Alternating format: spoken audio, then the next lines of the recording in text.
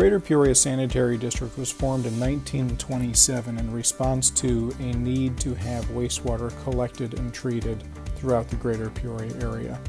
Today, GPSD serves Greater Peoria through a series of sewer pipes that cover approximately 70 square miles and bring this wastewater to the Darst Street treatment plant. Two large interceptor pipes, and an interceptor pipe is simply a term for a very large pipe, bring eventually all of Peoria's and Greater Peoria's wastewater to the headworks of the treatment plant. So today's tour will begin in the pre-treatment building. And right before this pre-treatment building is where these interceptor pipes convene. And the first step in this process is removing any large limbs or tree trunks or things that may have made its way into the system out of the treatment process. These large bar screens, which you see here on your screen, start to remove these large items, allowing for water to pass through. The items are removed and uh, disposed of properly so that the water can continue on. These screens aren't going to capture everything. For example, rocks that you may not want to go through your treatment system and pumping because uh, it may cause a lot of damage in the process need to be removed. So the first step is we slow the uh, water down and allow for the rocks and any other heavy material that made its way through the treatment uh, bar screens to then be settled out. And that's the purpose of these large grit tanks. There's two of these large grit tanks, uh, and the rocks and whatnot float down to the bottom, and the water continues on. Now, our treatment plant can handle a lot of water. On a typical day, we handle between 20 and 25 million gallons of wastewater that gets treated. To do this, we have to lift the water higher so that gravity can take over and go through the first step of the treatment process after pre-treatment. These large screw pumps do that. Each one of these pumps can pump between 60 and 70 million gallons of wastewater every day. In an emergency situation where we have a heavy downpour, let's say across the area, our treatment plant has emergency pumping that can uh, cause the plant to handle up to about 154 million gallons of water per day. So after the water goes through the raw screw pumps, it goes through these two chambers where uh, other grit is also uh, removed by settling out. And then the water really enters the, the phase of treatment. It's called these primary clarifiers, uh, which is what you see on your screen right now slows the water down so that other settleable material can settle to the bottom and water, clearer water you'll notice, starts to pass over the weirs and get sent along for further treatment. The next stage in this process is a biological process. So uh, we use microbiology to make that happen. And we've asked Chad Ford from our operations department to describe this process in detail for you. So we're standing at our EBPR system, which stands for Enhanced Biological Phosphorus Removal. This is our heart, the heartbeat of our of our plant right here. Uh, this is after our primary tanks, where the primary sewage overflows the weir and comes to the influent of aeration. So in the primaries, all the heavy solids were uh, taken out of the process and uh, comes over to the EBPR system and uh, we remove the organics. Uh, and the way we do that is we create an environment for the bacteria to thrive that will consume the organics. And the way we create that environment is we, we uh, pump air into the tanks. And we try to maintain a 2, 2.0 to 3.0 dissolved oxygen level. Just like us needing to be, be able to breathe, the bacteria need to be able to breathe so that they can do their job. So this creates the environment to, uh, for the bacteria to thrive, which in turn keep the organics that are in the system, and it cleans our water. Thanks, Chad, for explaining that. So, after water goes through the secondary aeration gallery, which is what Chad was talking about, the water then needs to be slowed down again in these secondary clarifiers. The purpose of these clarifiers is to again have settleable solids, including the microbiology that is frankly just eaten too much and can't eat anymore, settle down to the bottom. So, since the microbiology does the work, we can now remove that microbiology that has eaten all the bad stuff, as you'd say, in the wastewater. So that, like you see here, we now have cleaner water that rises to the top, overflows the weirs, and goes on for further treatment.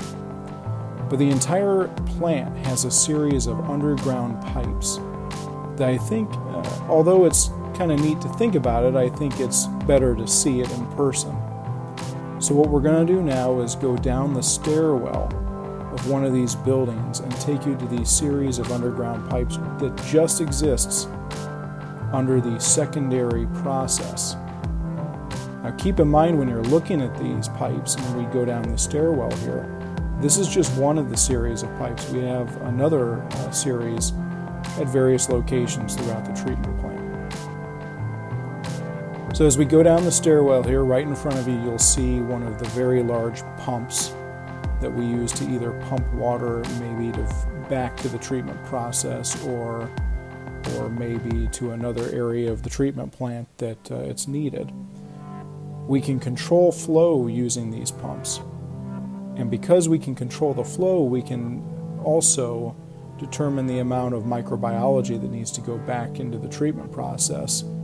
Because let's say bugs get hungry. And when bugs get hungry, they're ready to eat more. So when they go and eat more, they remove more of the organic material from the water. And when they do that, they leave the water cleaner once the bugs are settled out.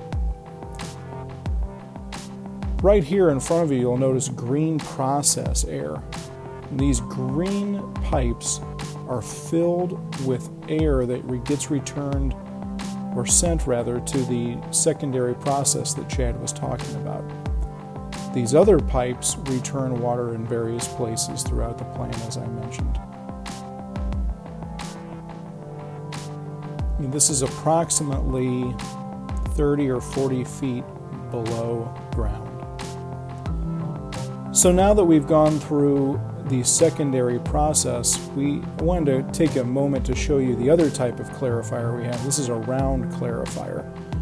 So the secondary clarifier we looked at to begin with was rectangular, and that was an original uh, original clarifier from when the treatment plant was uh, built back in the late 1920s. We also have round secondary clarifiers that are just larger in size, and many of them were built later we have eight secondary clarifiers.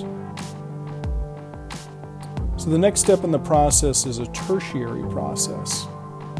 Back in the 1970s is when the United States Environmental Protection Agency was formed. And when they were formed, they also imposed new limits on treatment plants for ammonia removal. So, GPSD, like a lot of treatment plants across the country, had to install new processes, and that is uh, what you're seeing now. Rotating biological contactors in our treatment plant are used for ammonia removal. We call these RBCs. And there's 84 of these white units, uh, or white huts, and within each one of these huts is a rotating cylinder that you see here that creates an additional type of microbiology that is used essentially solely for ammonia removal. So here uh, it just rotates around and around, and this is called a fixed film media. And fixed because the bugs are on the media, and eventually, again, the bugs get full and they have to settle out again. We settle them out a final time through tertiary clarifiers. Again, we slow the water down and we have the bugs settle to the bottom. and are removed, leaving clear, clean water.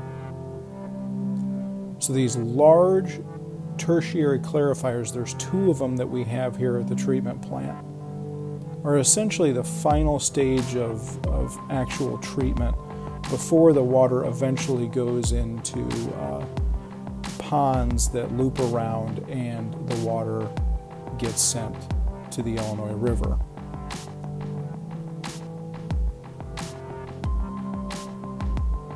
So here now we are going to take a loop around out of the tertiary clarifiers and into the, what we call them the polishing ponds. It's just a final kind of settle of, of treatment so that uh, any remaining uh, things that may be floating in the water can settle down and that way we make sure we're only sending clean water.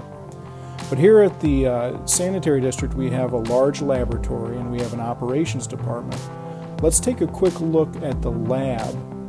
Uh, in, within the lab, we have testing that happens all the time. We have to report our results to our regulatory authorities uh, constantly.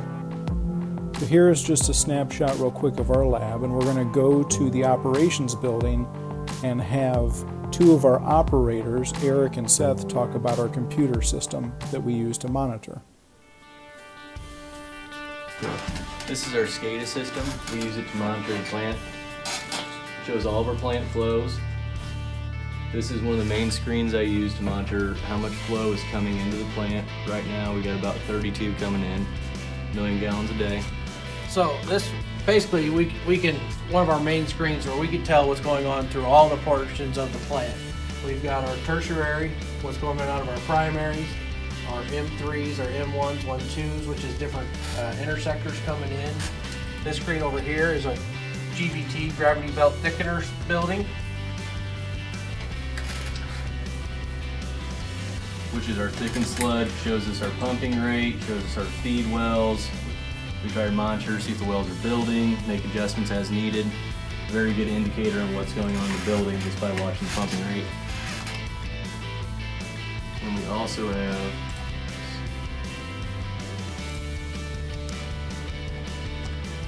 This is a screen that shows our primaries. Right now we're in tank one, run 60 minutes in it. They go through uh, 60, typically it's 30 minute cycles. We add time to it if the tank's struggling a little bit. Anyways, that's how we monitor our flow rate through it. Look to maintain a good steady flow through, through the primary. Thanks guys for giving us a rundown of our SCADA system. So now back out to the plant, it's time to return this water to the Illinois River. This water has been through multiple stages of treatment, mostly biological in nature. It's really amazing that everything we can do within the treatment plant, Mother Nature could do herself, we just happen to do it rapidly. So now we have what's called effluent. Influent is what comes into the plant and effluent is what goes out. And the effluent, as you see here, is making its way down our final channel through our levee to the river. But every now and then we get a flood. And the treatment plant, as you see here, is a little lower than the surrounding area and it's protected by a levee. So when we have a flood condition, we have to pump the water higher and get it over the levee. And that's the purpose of these effluent screw pumps. You can see a picture of them working right now. So that kind of concludes our tour today. But realize we have almost 70 employees at the district. So whenever you see a GPSD logo on the side of a truck driving around, start thinking about our employees. And here are just a few of them that I happen to get pictures of just driving around the plant to do this tour. Thank you for listening today. I had uh, fun giving this tour to you. If you want to learn more about our process, don't hesitate to contact us. We do give in-person tours to groups or individuals who are just interested in the treatment process.